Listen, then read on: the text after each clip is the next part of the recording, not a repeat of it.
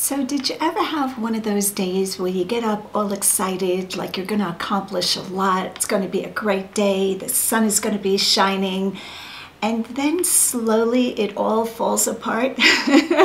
That's today.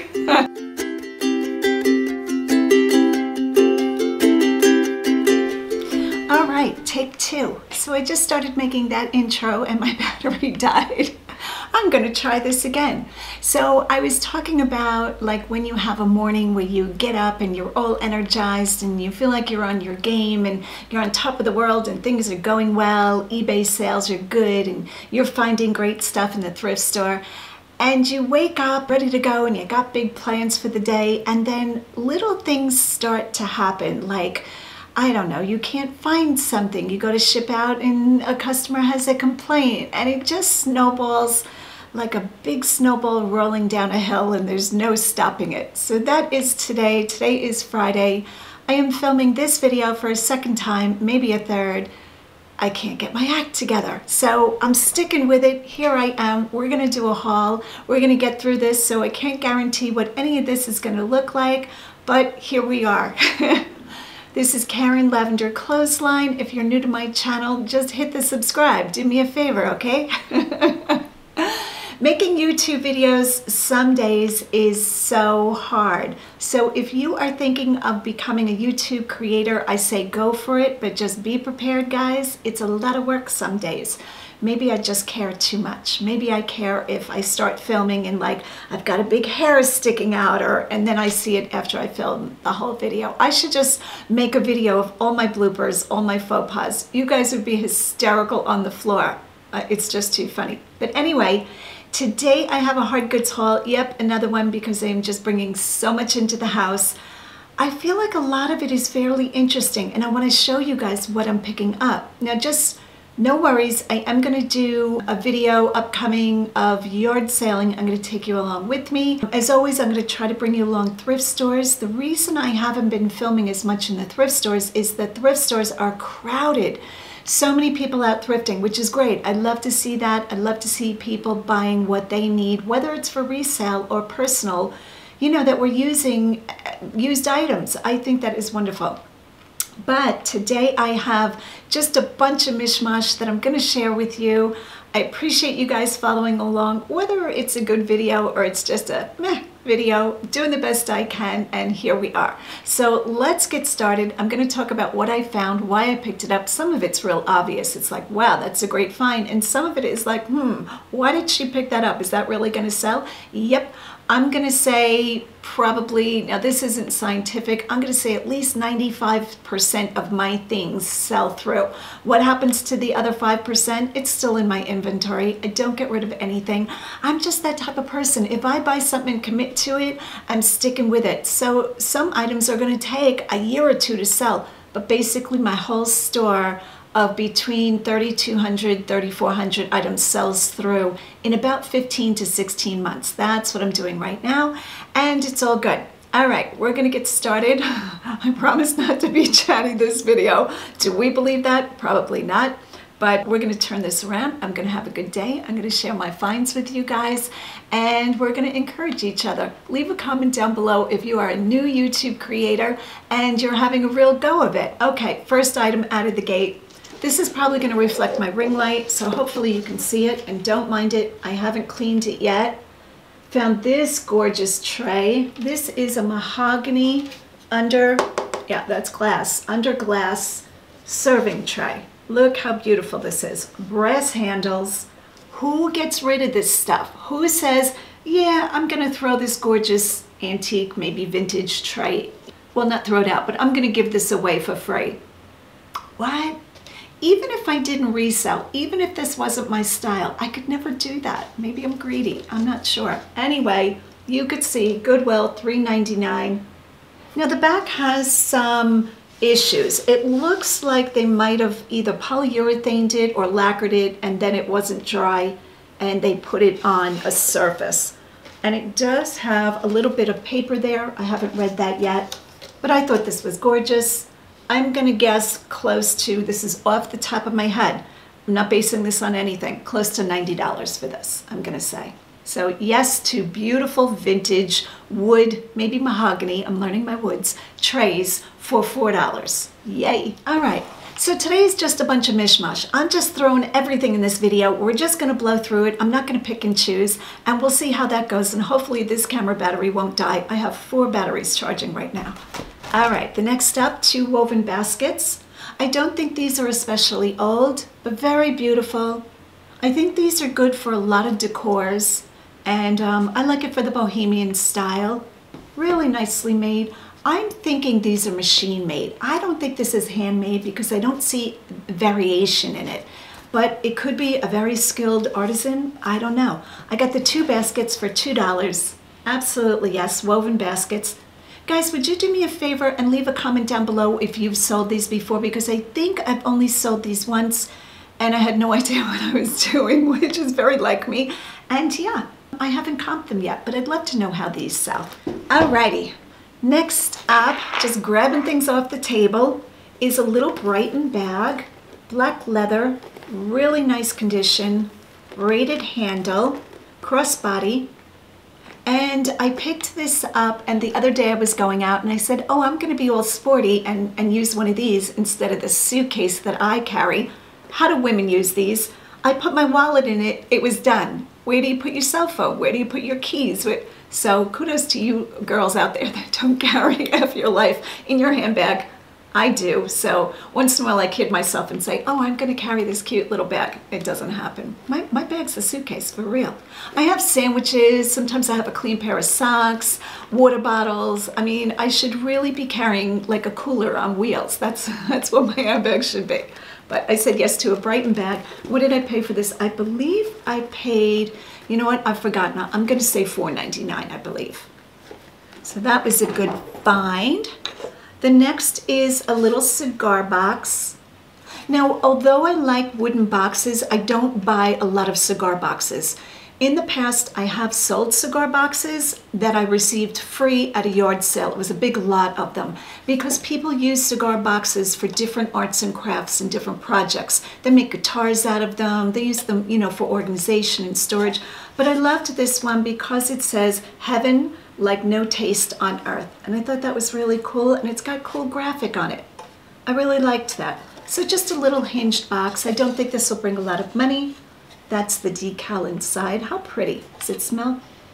No, this one doesn't smell as much. Sometimes it has a real beautiful tobacco smell. Beautiful in my opinion. And I paid $3 for it. So again, I don't expect a lot of money for this, but I took this one. All right, next up we have this chain belt. I thought this was gorgeous. I really liked it.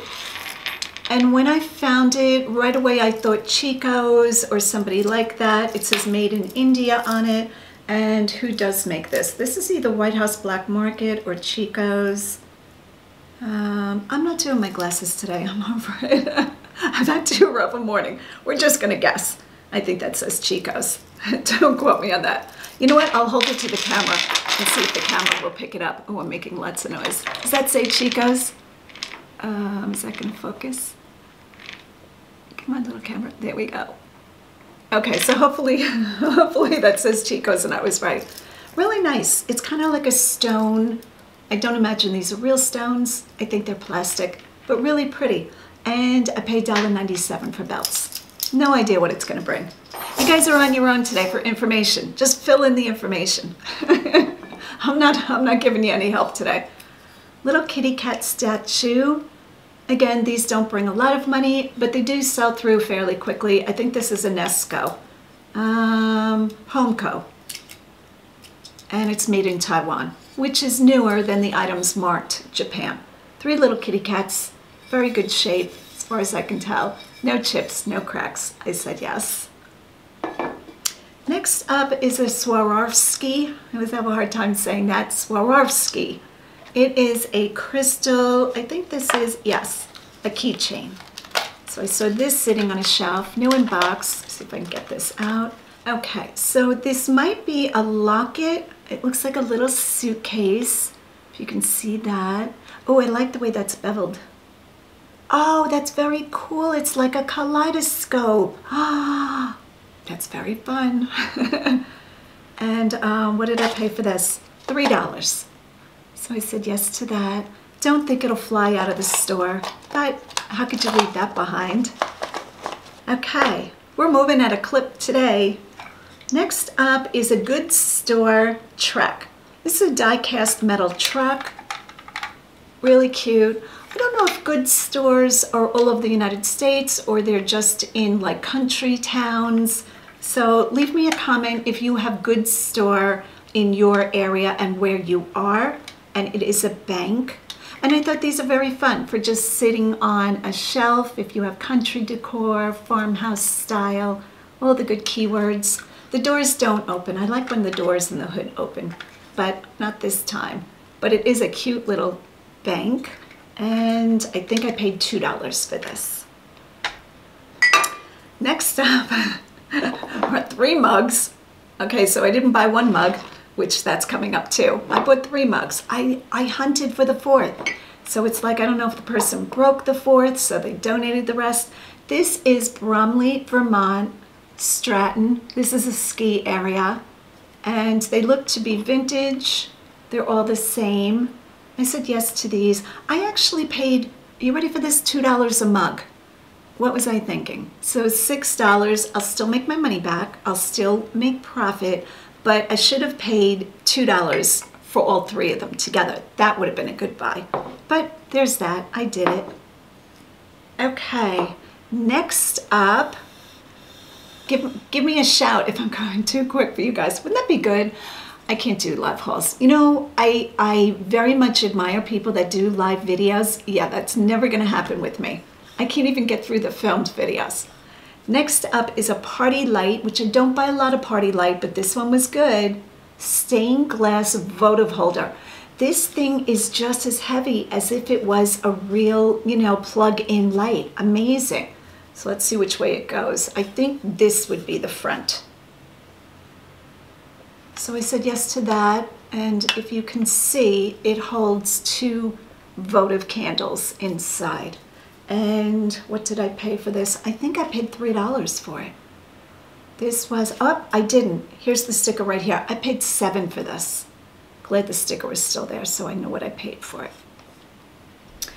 Okay, what else, what else? Let me grab a few more pieces that I've already put in the other room to be photographed and we'll keep going. Okay, the next items that I'm going to talk about are this beautiful dog and sitting right beside him was his friend, beautiful German Shepherd figurines and there's really no name on these that I see. I see a number. So when I go to research these in a Google search, I will just put in um, German Shepherd dog figurine and then I'll put the number underneath and hopefully a company name will come up. Now if it doesn't, it's not a big deal. I will still list them. I still think these are going to bring a very good price as long as it's not something like Dollar Tree, which I can tell they're not by the quality. But you know what I'm saying? Unless it comes up that it's really common that, you know, like, I don't know, I always bring up Target, Walmart put them out, something like that, which I don't think so. The quality is really good. They're beautifully painted.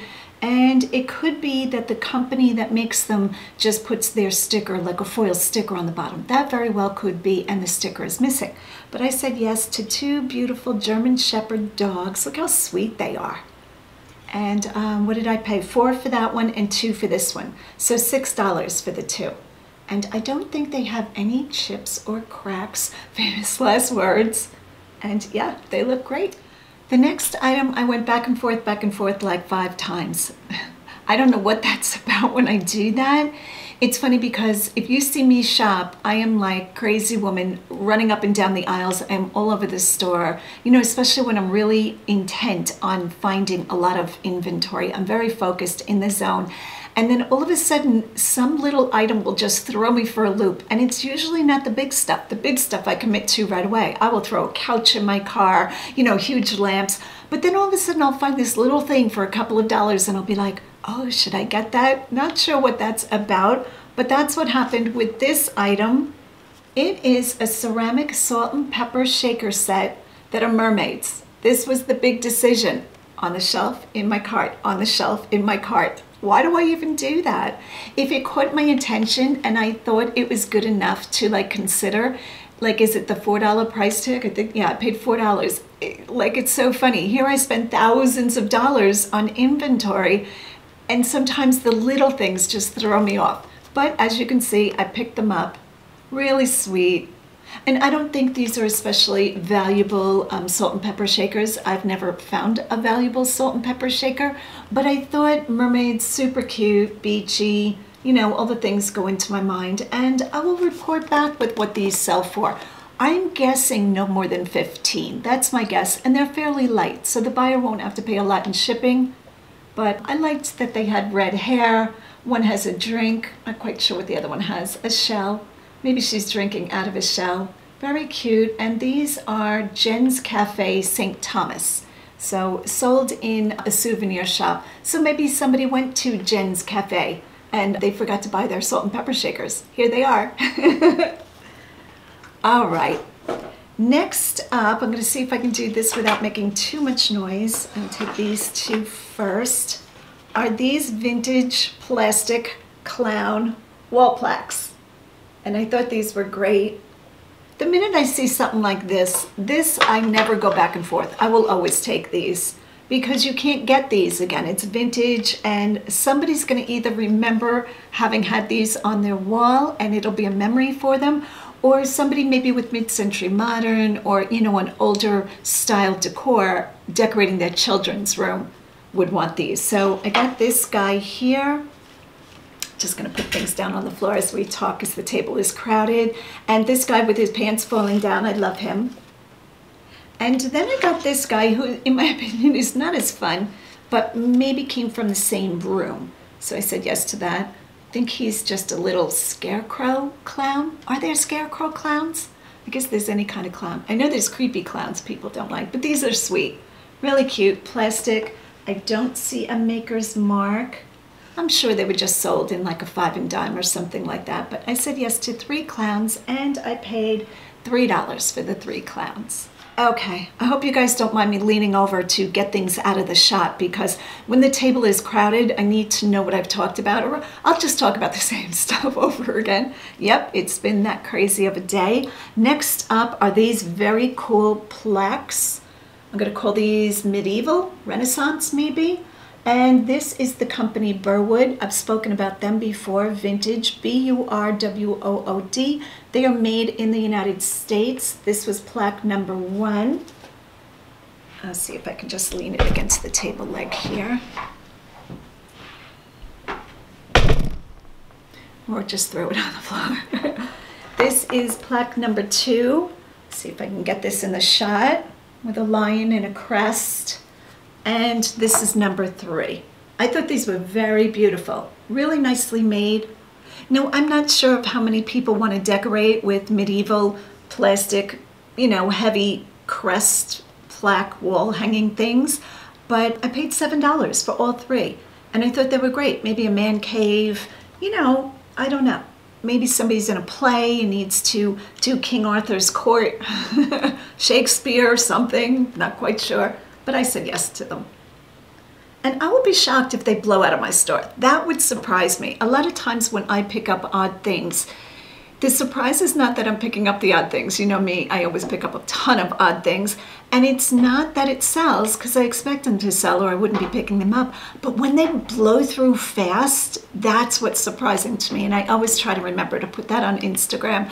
If something really odd, you know, brought good money and sold quickly. So if those bring real high money, I will report back on my Instagram. Okay, the next item I found in Goodwill and a couple of the employees there and I just chatted up and um, an employee named Dawn. Hi Dawn, if you're watching. I'm not sure if you watch my videos.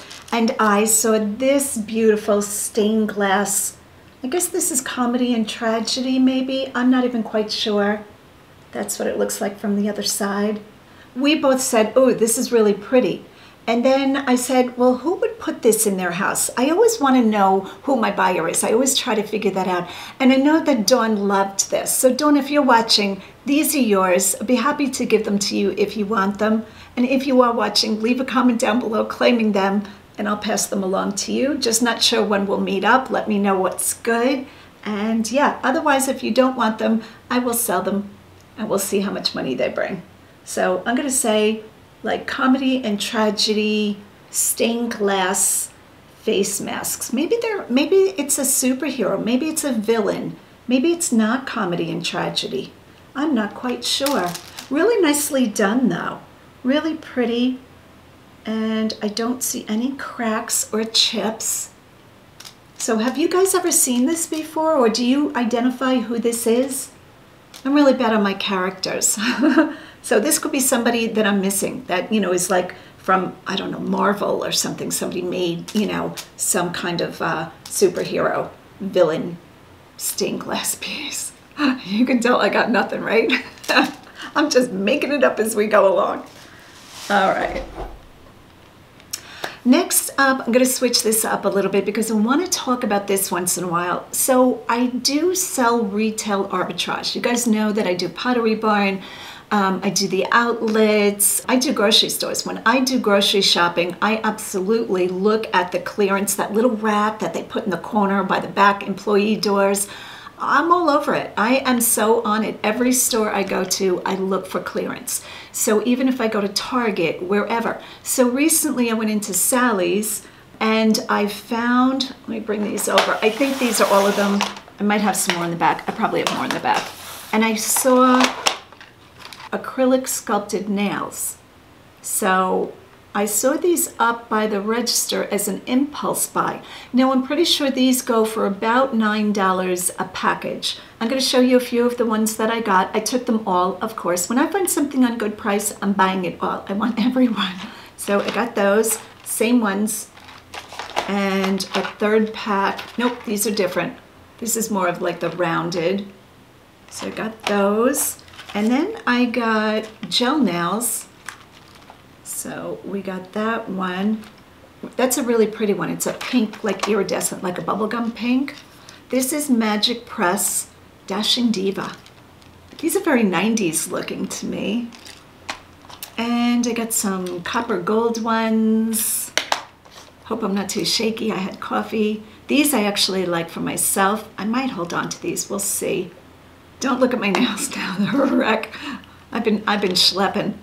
Uh, Magic Press again with the black with the gold. Oh, these are pretty. Pale pink. I love the nudes and the pale pinks. That color. That color. Is that upside down? Yep. So I got those. And these are toenails. I might keep those because I'm going to Florida. Sometimes when I go to Florida, I just throw on big toenails. I don't got time. I take the fastest thing from point A to point B when I got a lot going on. You gotta you gotta learn to cut corners. When you are a single person doing eBay, you know, full time, doing YouTube, taking care of the house, I'm looking for the shortest method of doing something and still having it come out okay. So I am not beyond pressing on nails and adding a little super glue to it. And these, I think I have like three or four more packs in the back.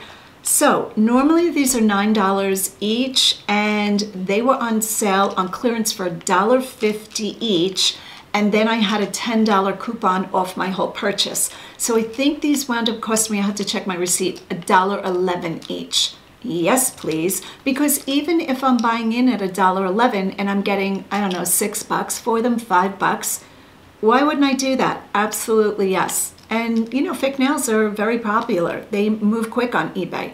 So I have sold things like this before. Whenever I see it, it's a no-brainer. I just take it all. I just tell the girl at the cash register, I'll take them all. And of course, then they know I'm probably a reseller. And that is retail arbitrage.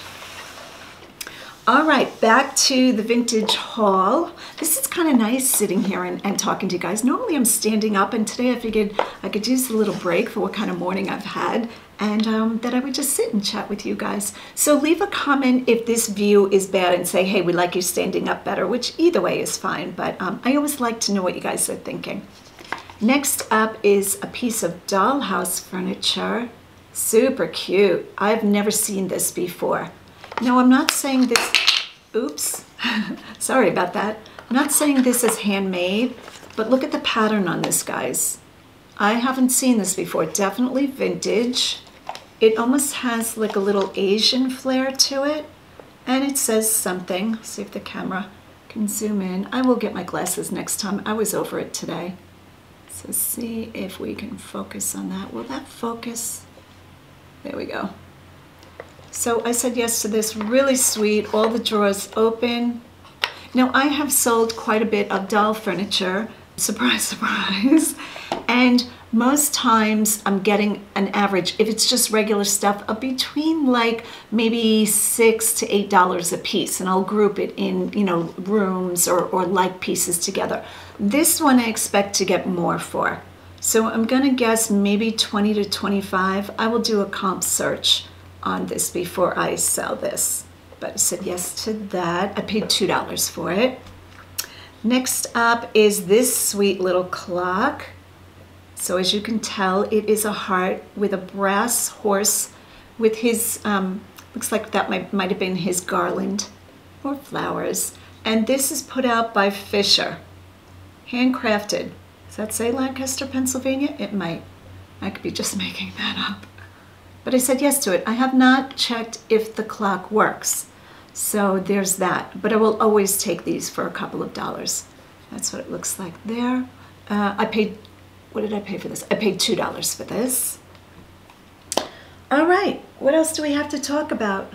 I have a clay piece of pottery I want to show, so I'm going to reach over and get that. Hang on. Okay. So I saw this sitting on a shelf, and this is a covered dish, not meant for cooking. You can see by the unglazed tips that it's terracotta and I believe they make it an unglazed so that it doesn't slip so it grabs a little bit more. I could be wrong about that and I'm wondering if this matches up pattern wise. I should have checked on that. Um, oh, that one goes there maybe? No, I don't know. No, maybe not. So I'm just going to put it back on like that. Beautiful though. It almost looks like, now I'm going to start to make it up. It almost looks like an onion an onion design, or I bet you there's a name to this shape. And on the bottom, it says do not use for food, and then there's a bunch of writing that I have no idea what it says. So that could say handmade in Mexico. I'll take a screenshot of it and try to Google translate what that says.